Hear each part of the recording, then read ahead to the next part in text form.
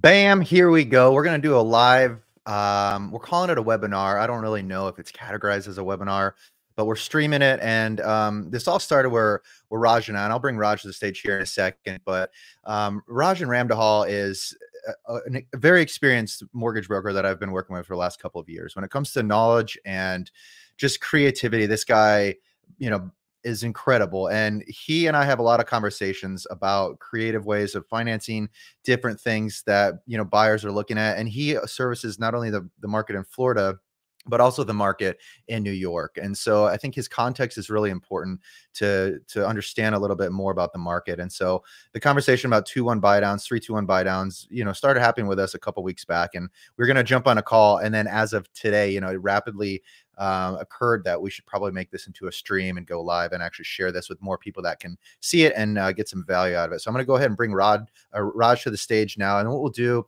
is uh, he has a display board that we can use some as a live live demo for the way that he can put some calculations together as to how these two one buy downs work. And uh, I'm actually I'm honestly done talking. I want to bring Raj in now. So here here's Raj. Uh, hey man, thank you for doing this. I know I kind of threw you into the fire uh, over the last hour, but I pre- appreciate your your support. It, it's a good thing I wore my nice uh, bright suit today. You know. you did, man. But, it looks uh, great but listen, I think I think it's awesome. I think it's a great time to talk about this topic because obviously people are concerned about rates, concerned about payments, concerned mm-hmm. about buying a house. Should I wait? The world's coming to an end, you know. Uh, so I think there's no better time to talk about a, a, a buy down than now because you know it's been out for for a little while. Um, there wasn't a real need for it because you know when interest rates were in the sixes, even when it uh, touched in the sevens it, it was still affordable, right? right? Now we're starting to see rates in the eights. Uh, we'll talk about it a little bit later, but you know, I think that rates are probably even going to tip maybe even closer to 9 mm-hmm. And so I think you know these two ones and especially the three two one buy down is really going to help a lot of potential buyers to understand that there is still affordability in the market right now and it's not over. The game is not over. So I really want to take some time and break that down just for people to see you know, how a 2-1 or a 3-1 buy down works uh, from a realtor perspective, because I think a lot of realtors don't understand how to negotiate that seller's concession or that seller's contribution that right. goes to a buy down. And there's a big part about it that people don't understand that you can actually use some of that money and get refunded a portion of whatever you don't use. So, right. in my opinion, in this market, a buy down is is a win-win for everyone for sellers for buyers for agents for lenders it's for everybody yeah and and like uh, you know so everyone that's watching this right now we have a, a chat so if you drop a question in that chat uh, raj or i will answer it um, we do have a segment at the end of it for q&a but if you drop that question in there i know how raj likes to talk and he will be uh, able to address that in real time or whatever it is. So feel free to drop those in there. But just a few questions that we'll go through with Raj and I, and starting with kind of the one that this is more of like an the way that I view the, the market, right? I'm, I'm optimistic from the approach of it. Rates are high. We know that, but I do this, do view this as a market for opportunity. And Raj and I, earlier, we had a call about investments that both of us are kind of looking at doing. And I think it'd be contrary to what a lot of the media is saying right now. It's like, don't buy. It's maybe not the right time to buy. So Raj, uh, as far as the current market, do you view it as we have opportunity or is it something like you're kind of holding your chips back and it's not a, a really good position you know for me personally i whether it's potential clients agents investors anyone i speak to i am really showing them opportunity in this market you know i sat down with someone yesterday uh, that's self-employed that's looking to buy multiple properties. And that's funny because that's the conversation I'm having more and more and more are people that are seeing that there is still opportunity. And here's why people think there is opportunity. Less competition, right? If we go back to, you know, COVID times, there was a ton of competition that was driven by rates. When that happens again and people feel that there's confidence in the market that they think that because lower interest rates are going to mean that there's more affordability, cheaper monthly payments, they're all going to start running back into the market. And when that happens, we're going to see people competing, bidding wars, waiving all types of contingencies. And so naturally, prices are going to go higher. So for me, less competition means I can actually score a house at market price and maybe even below market price right now. That's my opinion. Um, and, and as I said, if you are a buyer, just look around. Investors are still buying, right? We talked mm-hmm. about, it, you know, I, I did a, a segment the other day. You look at all these major, major real estate firms nationally. They're not saying, "Hey, we're waiting. We're going to see where the market's going." No, they're they're actively out there buying up tranches of properties, right? because they understand if I keep taking them off the market, rent's going to continue to increase, cash flow is going to continue to increase, but I'm essentially controlling the market.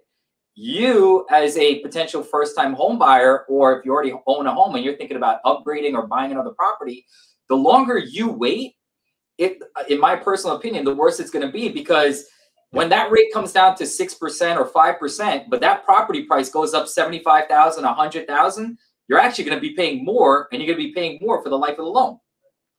Yeah, and, and that's I think why this whole like two one buy down conversation starts because I I, I don't think a, a, lot of people really know about this um the, this program or the incentive or however you want to kind of discuss it, but um you know everyone just looks at what the rates are and they think that that's the rate and that's what they they deal with. They don't know all these other options until they start having either the conversations with their agent or their mortgage broker or they see something like this online which is uh, you know obviously the reason why we wanted to do this earlier before we jumped on the call you know, we were like, what is the whole purpose of this? What's the call to action? It's like, it's, it's none of that. We just want to provide a little bit of education and some, you know, knowledge to you guys to where you can arm yourselves with another option for your clients, or if you are on the buying side, something else that you should be considering. So let's just like jump right into it, Raj. So we talked about kind of what we're seeing in the market. You want to jump in?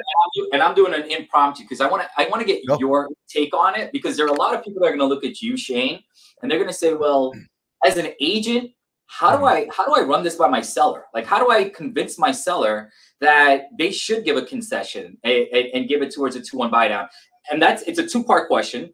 That's the first thing. The second thing is, do you think convincing an agent, like if you're putting in an offer in and they know that you're seeking a seller's concession, does the mindset of that agent and that seller change because they think that maybe the buyer isn't qualified, so they need to buy down the rate? And I'll explain a little bit about that. But from an agent's perspective, right? Like how how do you think dealing with sellers would that would work? I think um, it's a conversation that more agents are having with their sellers now than they have in the past uh, because we haven't really had to deploy strategies like this. So I've even seen it to the level of where it's advertised to the, in the public remarks on the listing, such as like the narrative where it would say, you know, seller is willing to entertain two on buy down, but then they don't apply any context because most people are like, what the what the fuck is that, right? so I don't think that that's as helpful.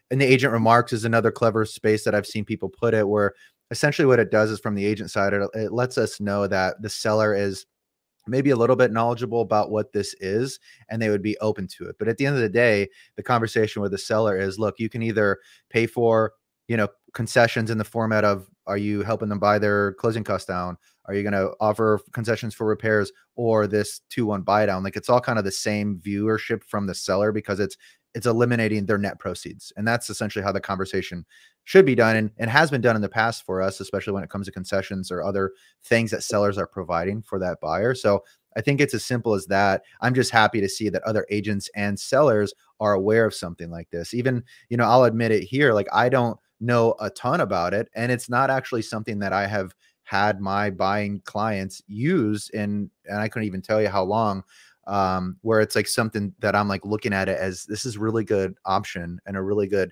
thing that that buyers could use now to help bring down the cost of of your mortgage and to me it sparks interest in in, mm. in that person's property right because more yeah. buyers now are going to feel like they have opportunity because the seller is willing to cooperate willing to help right so to me it creates a buzz for the buyer to say okay well look i'm interested in this property because i know the seller is flexible the other part about it is from the seller side i think if it allows the property to kind of just not sit there and you yeah. can kind of really move that property really quickly, it really gets you that price and closer to that top price of what you want. So, like I said, from a buyer side, it's a win. From a seller side, it's a win. So, for sure, let's let's get into the numbers. Um, so I can break it down. You'll tell me if you can see my screen here. Yeah, Raj has um, a really cool screen. He's been ultra excited to get, get this thing going. so we're gonna we're gonna add it to the stage. This is gonna be really cool because Raj is gonna be able to do math in real time we're actually going to be able to see his penmanship too. So people are going to look at This Oh my god, It's actually really good. it's better than I expected. yeah, it's much better than mine. So, Wow. uh, so right, so what are we looking at here? so basically, and and I can't really see you, but you can see my board, right? So Yeah. we're starting off with the loan amount at four hundred thousand, right? So we have a buyer that's got a loan amount of about four hundred thousand dollars. Now, as of yesterday, the current market rate we're going to use is eight percent, and that's crazy. I know a lot of people they're like, "Oh my god, I can't believe it." But I wanted to break down what the principal and interest payments were going to be, and essentially how we get to what you need to negotiate as a seller's concession for your your your your seller and your buyer, right? So mm-hmm. if we were to use an interest rate of 8%, okay? That's what today's market is. That is what is considered your final rate. So if we were going to do a 321 buy down, that would mean after the third year, your interest rate for the rest of the loan is going to be at 8%, okay? That would put you at a principal and interest payment of $2,935.06. Now, if we were to start at at your first year of a three uh three two one buy down, your rate would be at a five percent interest rate. That means your principal and interest is two thousand one hundred forty seven dollars and twenty nine cents, which is pretty nice, right? Mhm. Because if you factor in taxes and insurance, I mean, you're almost looking at about you know a seven hundred and fifty dollar uh, savings a month from what your final interest rate would be to what your beginning interest rate is. is. So it's nice to have that $700 a month saving for the first year of your mortgage. The second year, your interest rate would be at 6%. Okay. That principal and interest payment is $2,398.20. Again, you're looking at about, you know, 500 and change savings um, at your second year. From your third year, you're at $2,661.21. That's at a 7% interest rate. So you see what's happening, right? Your Mhm. first year of your mortgage, you're starting out with a payment based off of a 5% interest rate. Second year, your payment's based off of a 6% interest rate. Third year, your interest rate and payment is based off of a 7%. And then from your fourth year on, you're at an 8% interest rate. So does that make sense so far for you, Shane? Yeah, I mean, we'll we'll get into the cost of it, and of course, like the whole refi side of it, because I think that's another component where people probably, you know, are like, oh, I have to, I'm stuck with eight percent at that point. What if rates are better? So that's, an, I'm sure you'll tee that up. But yeah, I mean, that makes sense. I can actually see how the three to one adds up and makes sense from a subtraction standpoint. I mean, listen, if if I'm a buyer and and and, and I'm looking at affordability, right? If I know my my my principal and interest payment is at 2100 versus 2900 so if we were to even just tack in some taxes and insurance right like if we put $100 for insurance and $200 for taxes you know someone buying a $400000 uh, mortgage right i mean you're talking about a monthly payment of what the 2447 Mhm. that's that's still very affordable in in this market. At, at least as a first time buyer that gives me a lot more hope than if my payment were to be 32 or 3300 right? That's a that's a pretty significant difference. So you see right now how that 321 buy down works where you're really benefiting from the first three years of that mortgage and having that below market payment. Yeah, Now- totally makes sense. how we work out what your seller's concession needs to be is also a very important question, right? Because we need to know, well, how do we tell the sellers how much money we need? So if you notice to the right here, I used uh, a breakdown. And so really what you're doing is you're taking all of the savings from the first three years compared to what your final payment's going to be. And when you take all those payments, you uh, multiply it by 12 so you get what the annual savings are you add it all up so if you notice at the uh, at the first one here your total annual savings would have been $9453 the first year your second year your total savings is $6442.32 third year $3286.20 which brings you to $19181.76 so that is how much we need as a seller's concession for the seller to contribute towards a 321 buy down for a $400,000 uh, uh, loan amount. Okay, Does and that that, and that, totally makes sense. Um, I've heard other uh, lenders use like a, a percentage rate of it. I don't know if it's because it was a rounded number or what. Is that a So here's the thing that you could do. So now let's just say, for argument's sake, uh, you used a 5%, right? So if we know that we need 19,181, well, you can mm-hmm. negotiate a 5% concession from your seller, right? So yeah. the 5,000 of 400 is going to be 20,000. 19,181 is going to go specifically to the buy down and the additional, let's say $900 or $1,000 can go to other closing costs. So in this scenario, if if I'm on the the I'll use the buying side and right. um, someone in this call is on the listing side, I bring a a buyer through. I need to write that contract and put in concessions of, of about twenty thousand dollars for the seller to pay for my, to my lender for the buy down. Is that correct? Correct. Exactly. So if you want, you could put you know a five percent concession. Again, the math you can see it right there. Now another thing that they can do and I've seen a lot of people do it, um, especially, you know, we do a lot of these in New York because we have a lot higher price points, right? So the mm-hmm. savings mm-hmm. are greater. That's why the, the buy downs are really popular out here. But I see people negotiate a 6% concession, which in this case would have been 24,000. Out of that 24,000, 19,000 goes to the buy down and the remainder goes to the closing cost. So okay. you can also do that. So it's it's a nice creative way to kind of help the buyer out um, but as I said, you can negotiate directly, you know, a 5% concession, or you can go even higher. And so it looks like at the bottom of your screen, you have a like a two one buy down. I'm, I'm sure is okay. There we go. Yep. So again, I did the math. If you were to do a two one buy down as opposed to a three one buy three two one buy down, then you would only need nine thousand seven twenty eight fifty two. So then you can negotiate a ten thousand dollar concession from the seller, which seems like a lot easier kind of log to yes. chew on. I don't, I don't know why yes. I said log. And, and again, there's still significant savings there because if we noticed, if your payment is at the first, and again, I'll just bring this, pull this back up. So if you look at it here, if you were to do a 2-1 buy down, so your first year you're starting at a 6% interest rate, you're still $500 and change in savings. And mm-hmm. in your second year, you're at a 7%, so you're still at about $300 or close to $300 in savings. So it still provides a saving for the buyer and from a seller's perspective, it's not like you're going with a whole ton of money that you've got to take a haircut by, right? Like you just said, ten thousand dollars is, is a much easier sell than maybe mm-hmm. twenty thousand.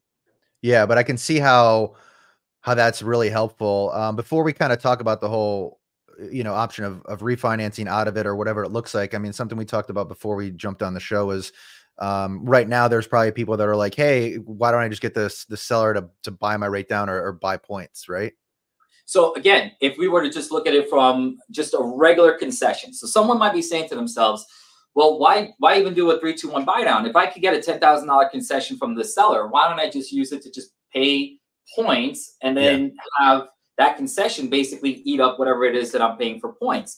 Yeah, that that makes sense. And if you look at the theory though, you'll see that typically one point, which is one percent of your loan amount, will buy down your interest rate by about a quarter point. Okay. So, I mean, if you were to pay two points, let's say, and you get a half a percent or a half a point in savings, if the market rate's at 8%, that's only bringing you down to about a 7.5% interest rate. And I even did the numbers on that. Your, your payment, if you were to be at a 7 per, 7.5% interest rate, is $2,796. So it's not a significant amount of savings if you think about it, because now if you're almost at 2800 and your actual interest rate would have been at 8% and the payment would have been 2900 you're you're only saving about $135 $140 that's it whereas that same $10000 could have gone towards doing a 2-1 buy down and you would have been saving your first year right you're yeah. saving almost 500 and change a month yeah no that's that's a i mean definitely huge savings there and have you seen with a lot of the loans that you guys are writing, are, are these becoming more prevalent? Are you seeing a lot more of these now than ever before, or, or what's the absolutely, absolutely, okay. especially I could tell you recently within the last, I would say maybe week and a half to two weeks. I mean, almost every contract that's coming in is negotiated based on some form of a concession for a buy down. Um, sellers understand we need to give buyers incentives to buy properties, right? Sellers, and, and as I mentioned look at the months that we're coming up to, right? We're coming up to November, December, January, February, which yep. typically, at least over here, are the slower months. Sellers don't want to sit with carrying costs over the next three to four months. And then what happens is if that listing is there for the next three to four months, it gets stale. Um, most buyers, most agents, when they come in, buyers agents, they're going to say, "Hey, this listing is kind of old. We're going to really try to negotiate down." So it's yeah. a way for I think sellers to kind of get ahead of it, create the incentive, create the buzz, and you know, kind of give that buyer the incentive of of buying their property. I think it's very smart how do you think with the loans that you're getting like how do you think the buyers are aware of of that opportunity? Is it because they're working with you and you're like hey you guys should be doing this or is it just because in the new york market maybe it's like more com- common up there because of prices?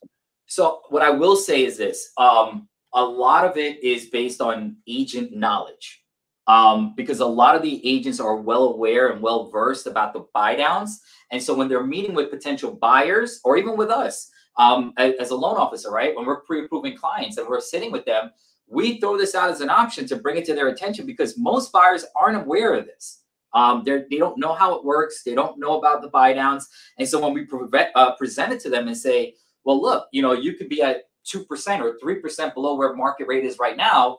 I mean, it's just like, it's the best thing since sliced bread for them. So we see that agents are also, you know, pushing this this product out there because it makes sense.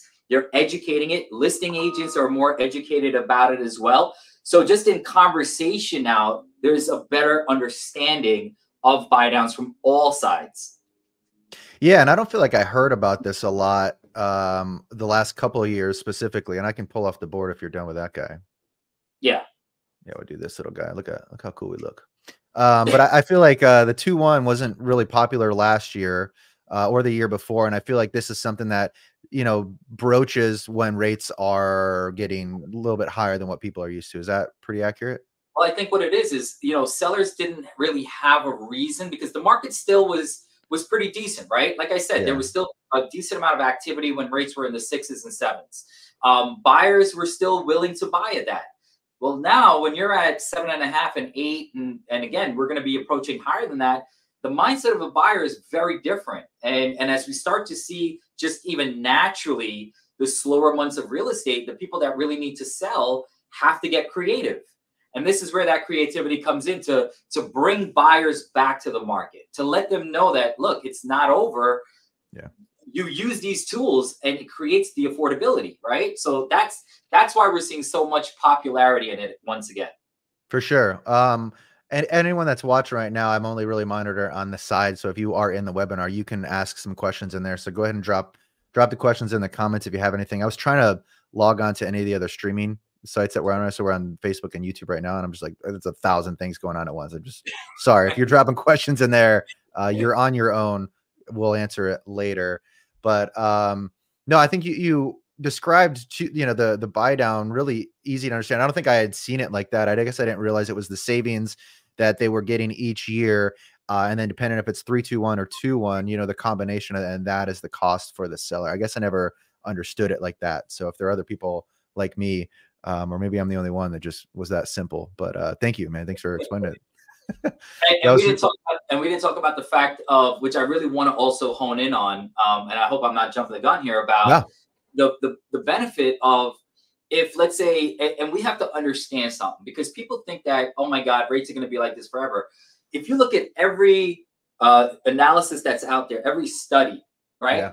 We understand that the market and the Feds, even the Feds themselves, have signaled that they want to start reducing rates somewhere within the next, you know, the end of 2024. So we're talking about within the next year to year and a half, we should start to see rates come down.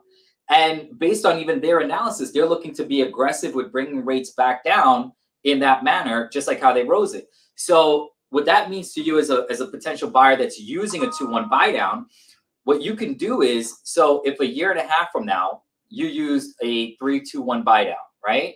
Okay whatever portion we saw that that was $19,000. If after a year and a half you choose to refinance, or even at two years you choose to refinance because interest rates have come down significantly to where it makes sense, that portion that's unused in that buy down, you get a refund of that money when you refinance. Uh, so, so can, you, can you draw that? Can you draw that on your fancy little board? Can you? Okay, I'll make it even easier, right? So let's look at. I'm gonna bring it back on. Is it on there? Let me know. I'm gonna bring it back in. Raj just wants to show his board, his board again. All right. All so right. you're saying the remaining balance that's left over if they decide to refinance inside that three years um, Right. is essentially like a, a positive balance one would have, right? So now let's look at let's say we just did a, a let's say we did a three two one buy down, right? So we know if you can see it, right? It cost the savings was nine thousand four fifty three twenty four the first year. The second year, the savings was six thousand four forty two thirty two, right? So again, I'm using just easy numbers. So let's say it's ten thousand and and sixty five hundred, right? So we're talking sixteen thousand five hundred in savings.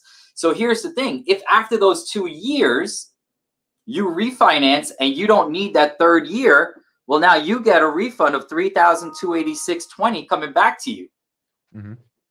which you saved money the first two years, Yeah. and you got extra money that came back to you the third year. And so, so you're the- using that that savings to for the closing costs on the refi, or You that use like? it for the, yeah, exactly. You use it for the for the closing costs on the refi.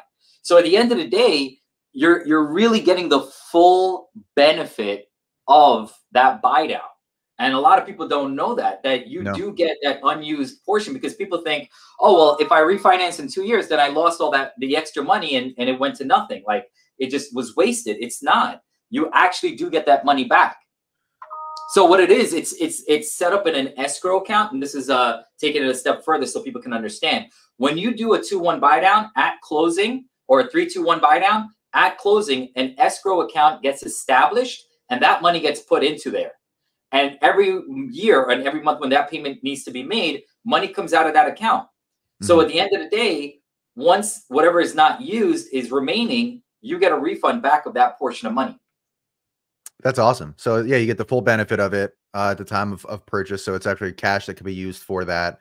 And I think you know, I was gonna, I was trying to pull up some some graphics too to see if we could show forecasts of of 2024 of what it is. You, you I start seeing like a mixed opinions on it, and that'll be one of the the last things we talk about. Raj is like your predictions on it, but we're seeing a lot of mixed um, predictions as to what 2024 is going to entail. Whether we're going to see rates continue to increase, or you have people that are like, no, we're going to park. We're going to see five to six. But I think from a you know everyone that you talk to, everyone is like, well, there's not a chance in hell we're ever going to see two or three percent. Four percent would be a godsend, but five percent is probably going to be the most relief we'll see, and that might take a really long time uh, for that to happen. So, do you want to kind of forecast your projections and Yeah. predictions?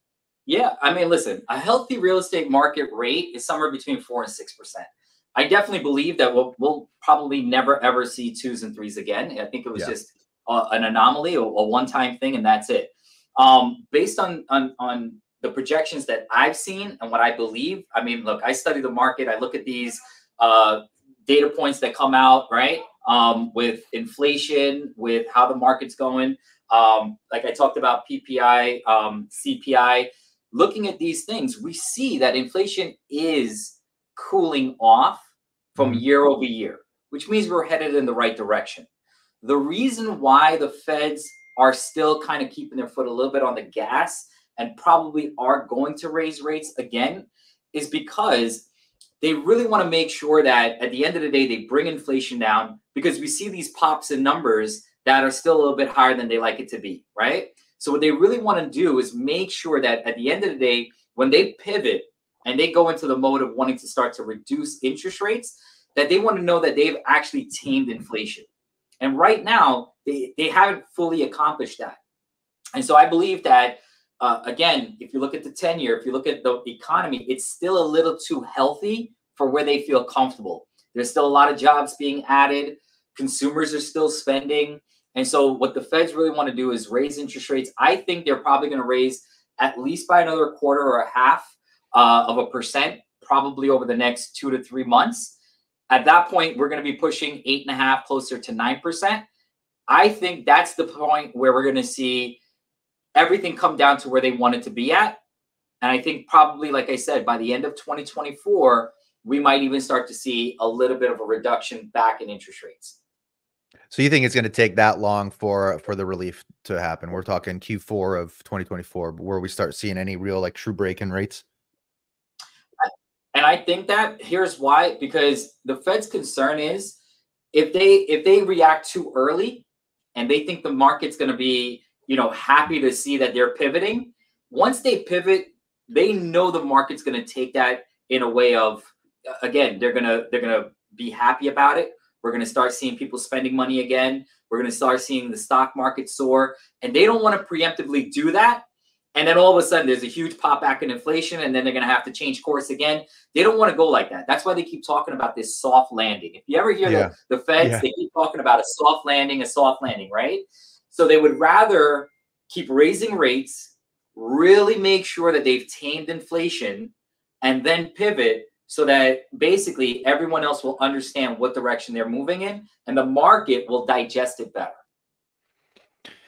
no, I get uh, the soft landing makes a, you know a ton of sense, and I'm I'm throwing the comments in as as we, I see them. But Jennifer, thanks for for the for uh, saying Raj is great. She's definitely talking to you, also, by the way. Thank you. Uh, so soft landing makes a ton of sense because I think it's the last thing that anyone wants to see is all this happen again. Um, but but definitely interesting to kind of track what what's happening with rates and what we're all doing to kind of try to generate business. I think um, you know before we we jumped on the live we were talking like what's what's it look like in your market and what are you guys doing and and how it is? And i think you know florida has been a little bit insulated from a lot of these other economic issues that are happening to a point to where it's like we're not we have not been affected as some of the larger states when and states with with higher prices right? New york california um, even parts of texas things like that. But we're definitely at a point now where things are slower and I, am more listing heavy than really anything else. So I'm feeling it now in the format of, you know, my listings are just taking a little bit longer to sell. We have to have, you know, more high level conversations with our sellers about what we're doing to marketing the, to prop the property and, you know, showcasing insights and all these other things that agents that entered the market over the last 24 months are unaware of because at that point, like it was, it was you know relatively easy to be a good agent, right? You listed anything and it sold fast because we weren't really dealing with a lot of issues.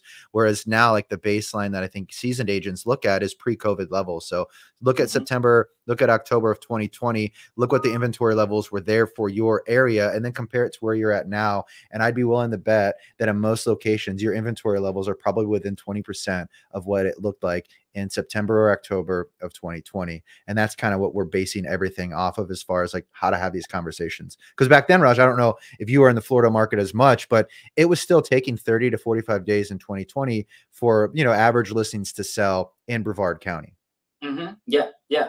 I, am pretty aware of that. I mean, I wasn't fully down there like I am now. Right. I did have real estate down there, and I I remember it it it it definitely, like you said, 30, 40 days was normal. It's not like the three days and five days off the market where it was Unreal. a couple years ago, you know? Unreal, man. So um, I think, like you just said, though, it, it really puts a spotlight on agents that now have to know their craft, mm-hmm. have to actually know their numbers, and have to do their due, due diligence and be creative in getting these properties moved, right?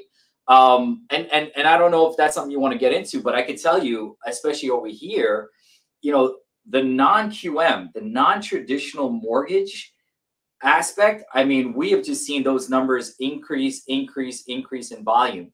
Um, because now you you have self-employed buyers, right? Only fans that have the means because the products are there, and so they're coming out now because they're not they're not fazed like a W two wage earner. They're not really fazed by a 7% or a 6% or an 8%. They just want to be able to buy. Yeah. And so, especially out here, a ton of the activity is based on non-QM uh, buyers, you know, self-employed buyers that are out there buying. Whether do it's do you want to talk buyers, about the non-QM though? Because I don't feel like a lot of people under like I didn't know what that was until what like six months ago, five months ago. so I mean, if you want to like talk about that too, it's a whole direction we could go. But maybe just briefly explain non-QM. So basically, they're non-traditional products, right? Um, they're geared towards more self-employed investor uh, buyers. Um, whether you're buying, you know, a primary residence as a self-employed buyer, or you're buying investment properties, people are very familiar with like the DSCR program, where you're using the uh, rental income from the property to qualify for the mortgage. So you're not even looking at tax returns and pay stubs and any of those things that you would in a traditional aspect to qualify to buyer. Um, and again, even if you're buying your primary residence, right? even if you're buying your primary residence uh, as a as a self-employed buyer, if you're going the traditional route, a lot of times you've got so many uh, write-offs on your tax returns that you know your net is very little and so you can't qualify the traditional route but you really make the money. So with a non-qm or a non-traditional product you can qualify using a profit and loss on a balance sheet. You can qualify using a 1099 you could qualify using the average deposits uh, in your bank statements. You can do a combination what we call like an asset depletion where we can use the gross money that you have in the bank and we break it down and use that as a monthly income. So there is so much opportunity for self-employed borrowers that have money, have the means, but in most cases they didn't you know qualify because like I said, they were going the traditional route. And if you didn't file your tax returns or amend it or do whatever it was to show the income, then you really didn't qualify. So I mean, again, we are seeing more and more uh, self-employed borrowers come into the market now uh, feeling empowered because now yeah. they have all these products. Um, and but that's also why it's really important that you know you have to work with someone that knows these products. Like for me, I've been doing non-traditional mortgages almost close to eight years now. A lot of people only know about it in the last year or two because it's become so popularized uh, nationwide. Um, but a lot of agents don't really know how it works, and a lot of lenders don't know how it works. So that's that's something that for me, you know, I I, I really love talking about it because I think it's just so misunderstood. And I think if more agents kind of added it to their to their tool belt, you would see how much more business you could you could really generate. And then to be like play devil's advocate, and I don't know enough context about this, but but um non QM seems like a really good option, like almost like too good of an option to be true because of people that maybe don't have like you said their taxes filed or whatever whatever it is um, but the, on the negative side of it, I mean, is it relatively easy to get a loan? So could that create a problem where maybe people get these loans based on maybe they have a shit ton of money in their savings at one point, and then all of a sudden they get this loan, and then their OnlyFans accounts, you know, goes nowhere, and then they're screwed. Like, where what does that look like? And I mean, I just I'm so thinking about no, that. that's a great question because yeah. I've heard a lot of people say, well, we're basically stepping back into like 2008, right? Yeah. Uh, we're, we're opening Pandora's box once again. And the difference between then and now was when you had these no income products back then, and I was fortunate enough to be in the industry then, so I understand it. But when you open up Pandora's box back then, you had people that were able to buy homes using no income verification products that can still do 100% financing or 106% financing back in those days. So there was very little skin in the game. And, uh, and from a credit score requirement, you could have had a 600 credit score and utilize a product like that. So if you have very little skin in the game, very little investments, it's easy to walk away from something like that. The reason why these products are so effective and they're so popular is because they perform if you look at the mortgage-backed securities and hedge funds that uh, bundle these loans, you know, these are almost close to AAA type of products because if someone's putting down 20, 25, 30%, the chances of them walking away from that property or even defaulting on that property is very, very slim.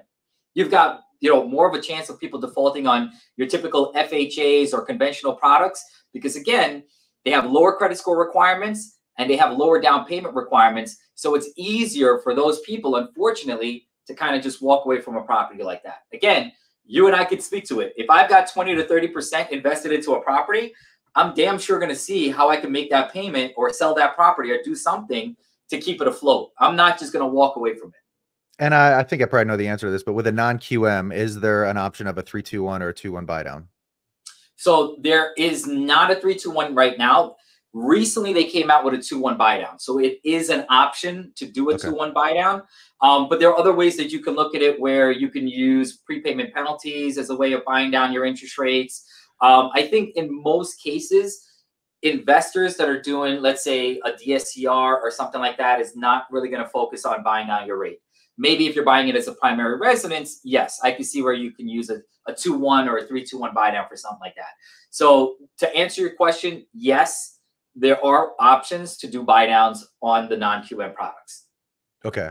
And even, you know, this is a whole nother topic we didn't really plan on discussing, but um, you know, I'm a recent candidate of a of a non-QM, right? And from the investment side of things too, I think for agents that are trying to get into investments, like this is a really good option for me to experiment with and, and sort of learn and understand. But from a mortgage standpoint, I mean, it did seem like a breeze. I just feel like the guy that was applying for the loan was a little bit more of a pain in the ass than than he should have been. But um, overall, like I would say that the documentation that you needed from me for that non QM was was probably about 15% of what I would normally have to provide for another loan.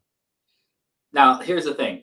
And, and, and to my self-employed buyers, right? Or, or clients that are out there, think about this. If you've got multiple properties, you've got to make sure you've got your tax returns in place. You got to mm-hmm. have your corporate returns. You got to have your personal returns. In most cases, you got to make sure that your accountant knows what they're doing and they're, you know, they're filing a Schedule E, right? They're claiming the depreciation, they're claiming the rent roll, they're claiming all those things. So that when you go for a mortgage, the mortgage company can add back in those things to basically wash out what your monthly payment is, right? Right. So when you think about it from a self-employed perspective, you've got to go through so much loopholes. I mean, uh, uh, or requirements, I should say, not loopholes, but you've got to go through so much more requirements and provide so much more paperwork when you're going through a traditional mortgage.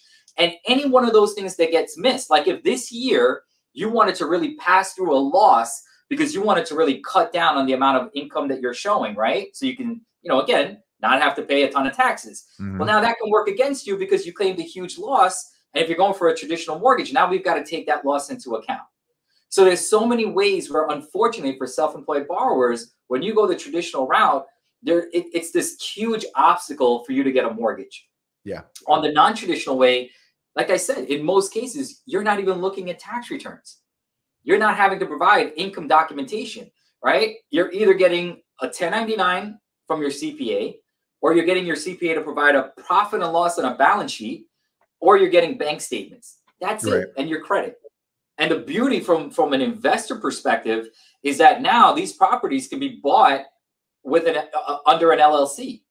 So you don't have to think about, well, after I close, mm-hmm. then I've got to do a quitclaim deed and get it into an LLC, but then it's still on my credit. So eventually I'm going to have to refinance and get it off my credit. No, you can actually buy these properties straight under your LLC. So you don't even have to worry about doing that in the future.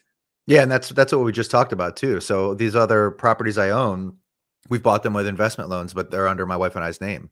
Uh, because because there's a mortgage on that. So with a non QM gives you opportunity to put it into an entity. I thought that was another really cool thing that was a that was a tangent I didn't think we expected to go on. Um, I'm going to try to soft land this webinar uh, if if I can with Raj. So one of the last things to go into uh, was looking for questions here. I like that one. I, I don't know how that one better. I think you would be better than me. I don't even know what I would. Uh, what do you? I've never been on OnlyFans. I don't know what, what I'd showcase. But wow, wow. uh, Raj, please don't ever do that again. I don't know what happened. We, we lost people. We lost Raj. no, he's back. you just really um, me out, right? so I use uh, Mortgage News Daily primarily for like my data resource for mortgages and you get the notifications about rates are up down up down up down i like i like that app actually I'm, I'm, i would promote it if if they paid me more um, but is there a resource that you would suggest for agents or consumers to where they can kind of look and see what's going on with the the rates so i mean for me I, again i love mortgage news daily because it gives you a lot of articles it gives you a lot of insight for you know someone that is still somewhat under trying to understand the market. Like I use MBS Live, that has a lot to do with Barry Habib. Um, if you know him, he is really well versed in understanding the 10 year, understanding. Um, and it's funny because I would love to even show you sometime what it looks like. They have these charts and they plot it out. And just like a stock, they look at, you know, ceiling and floors. And you'll see that if it breaks to a certain number, which is a ceiling, then you have an uptick to where you know the bond can go even higher and higher. For the for the average Joe, I would say take a look at your 10-year treasury, right?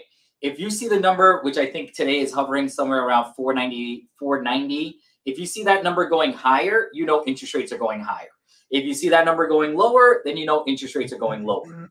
Um, but definitely, Mortgage News Daily is great. MBS Live, if you really want to get into it because you can see live updates from lenders and how they're repricing throughout the day so you can know where rates are going.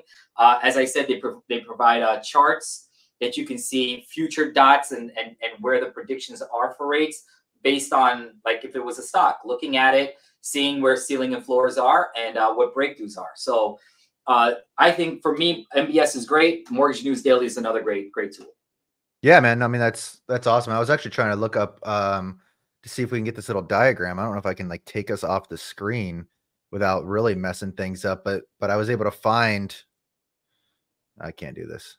It's just too far outside of my Oh wow, now it's bringing your other guy. Oh my goodness. but the background is, is mortgage rates and it's today's rates. So if you're able to kind of Google that um, MBS Live or more, this is from Mortgage News Daily. What they yep. do is they show you a ticker basically every day to see what rates are doing, and it and it's also really nice too because it will give you context all the way back to like this chart here is 2014, so you can kind of see what 2014 looked like you see the this huge plummet in rates and obviously most people understand that that was pandemic time and then this increase and then the volatility that we've seen over the last you know really like year and a half so it's it's interesting to track it's one of my favorite apps i'm not a i'm not a notification guy but that is one of the apps that i have notification on for um for things like that so i can track it in real time uh one of the last questions raj before we kind of get this thing off i can't believe we're almost pushing an hour and we're at 46 minutes you know that I think we should do this more often, man. I kind of yeah. really like. It. That was pretty. Man, you're you're awesome. You're a natural, dude. Uh, if I could just figure figure out how to use this service, I like that background. You like that better than the the, the beach I one? I think it's cool. It looks like we're on the news, honestly. That's what I was gonna say. Right? It looks like this, uh, you know, broadcast. Um.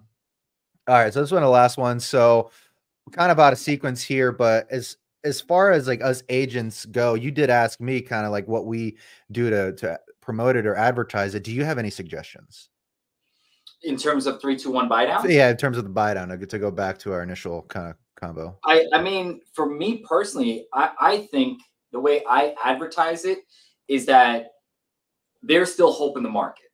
It's mm-hmm. it's about helping buyers to understand that there is still affordability. I think if we can show them how they can get a 2% or a 3% lower rate than where market rate is, it gives them hope. That's all buyers need to understand. The, the biggest problem is that buyers don't know that these options are out there. And so being able to explain to them, buyers, do you know that you can start with an interest rate 3% below where current market rates are?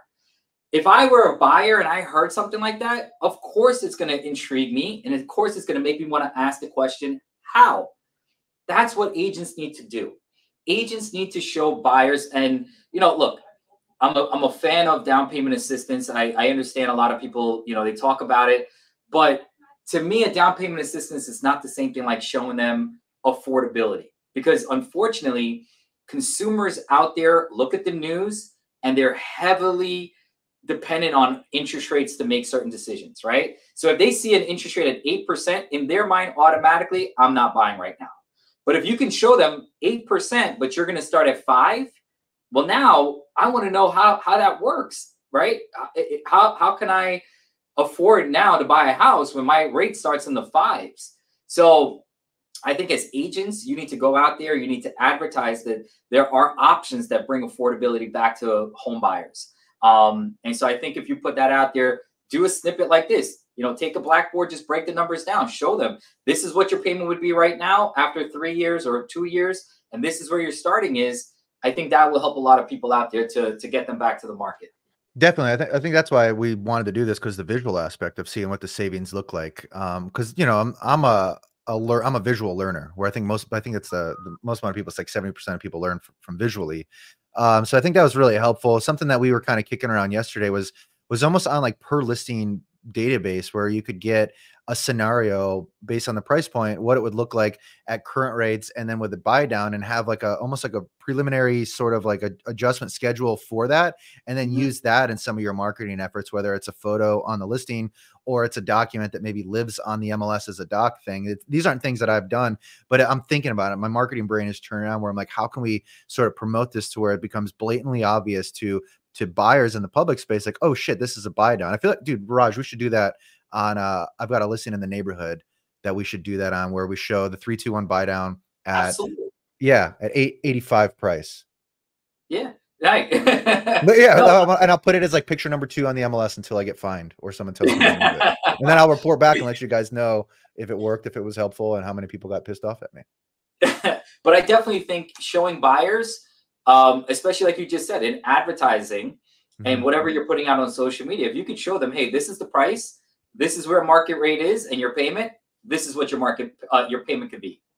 And and I think that would drive a huge amount of traction to people saying, "Oh wow, like I didn't realize that I can I could actually have that payment." Now, now all of a sudden, when I thought that I couldn't really afford it, well, I really can, right?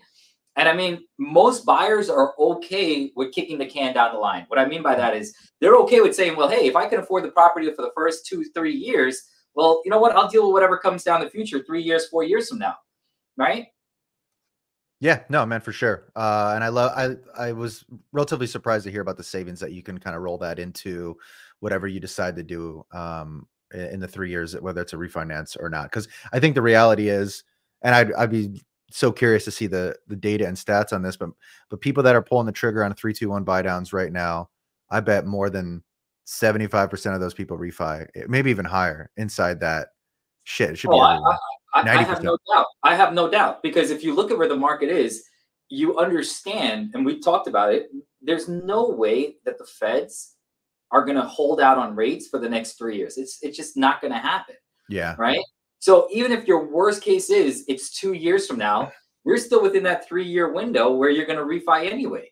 And that's why I say about with buyers right now, you're not going to, you, you know, you're at a high price point with rates right now. You know, you're going to refi, but at least I would rather be the guy that buys the house now for 600,000 at a seven or eight percent interest rate with a buy down and refinance in two years when rates come down to five, let's say, but I'd rather be that guy than the one running out to try to buy a house a year or two from now when rates come down to five. But there's so much competition that you're bidding and bidding and bidding, and that six hundred thousand dollar house I'm paying seven, seven twenty five for, and I guarantee yeah. you that's what's going to happen. No, 100%. That was a conversation I just had with a client yesterday because she was like, you know, we're coming up to the area and we don't really know that much and you know rates are really high right now and she's like you know we we think we we kind of want to rent and i was like look i'm not a guy that's like going to push you away from one decision or another, but we know what the market's doing right now. And I, I started asking her questions. I was like, you know, what do you think happens when when rates go down? She's like, oh yeah, a lot of buyers enter the market. I said, yeah. And what, then what do you think happened to prices? And she's like, well, they would go up. I said, yeah. And what's happening right now in the market? She's like, well, a lot of people aren't aren't buying because rates. I said, so what does that do to inventory? She's like, well, it goes up. And I was like, well, how about prices and and negotiation? She's like, well, you have a little bit of leverage. I said, yeah. And I was like, well, what do you think that happens to people that are like you that aren't buying and then they still need a place to live, where do they go? And she's like, Well, they go rent. And I was like, Then what do you think happened to rental prices? She's like, right. They go up. And I was like, All right. So what do you want to do? So she's coming up to look at homes to buy. And this was not like tactic to like get sleazy sales Shane out there for her to buy. It was like, hey, these are questions you probably have not considered and questions that you probably haven't thought about. But at, at, when rates go down, like there's a lot of pent up demand, the market is going to get flooded and it's going to be very competitive again. And all and, the way back I, to like the first thing we talked about, this is the opportunity for negotiation and leverage. And I love it.